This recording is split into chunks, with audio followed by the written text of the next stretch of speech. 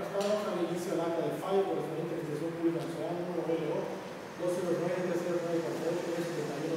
209-309-48-71-2019 relativo a trabajos de conservación de década de trabajo de asfáltica, densa, de 4 kilómetros, cuerpo B de kilómetro 56, más 3 ceros del kilómetro 60, más 3 del medio de la garantía media por Juárez en el estado de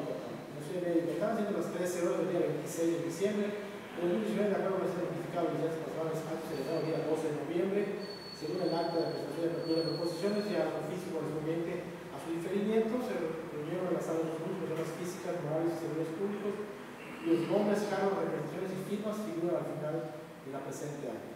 Preside el acto el ingeniero Luis Manuel Pimentel Miranda, subdirector de obras, en representación del señor ingeniero José Renán Canto Herrera, director general, actuando en nombre y representación de la Secretaría de Comunicaciones y Transportes. Una vez analizadas y evaluadas en forma cuantitativa y cualitativa las proposiciones recibidas,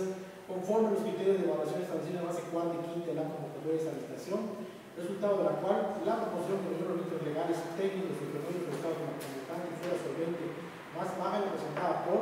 obras civiles, inversión y desarrollo SASB, por de la jurídica del contrato de precio unitario número 2020-31 CBA 505 WCS 2020, correspondiente a la Dirección Pública Nacional número L209 por considerar que su propuesta con un monto de 7.253.207.81,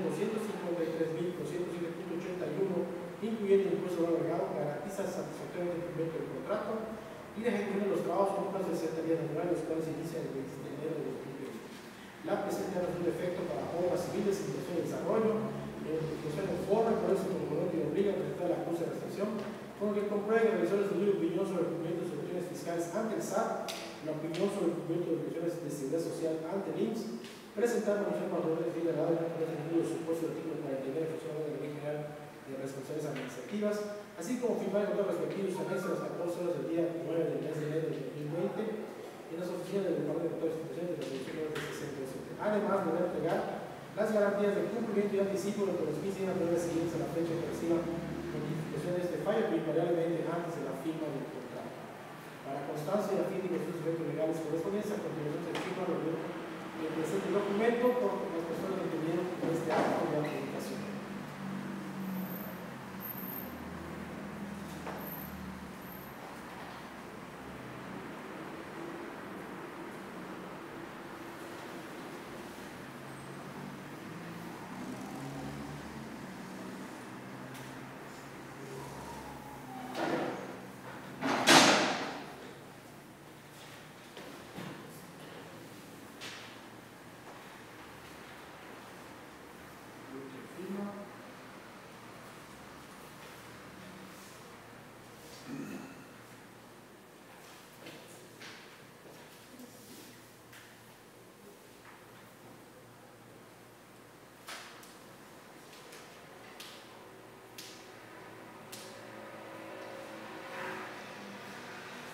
Amen.